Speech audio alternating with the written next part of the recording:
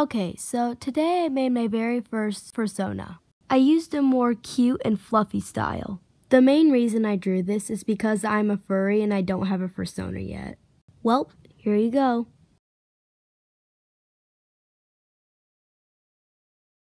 I tried as best I could, okay?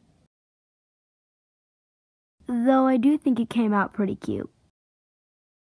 Oh yeah, and here's some proof that I actually drew this.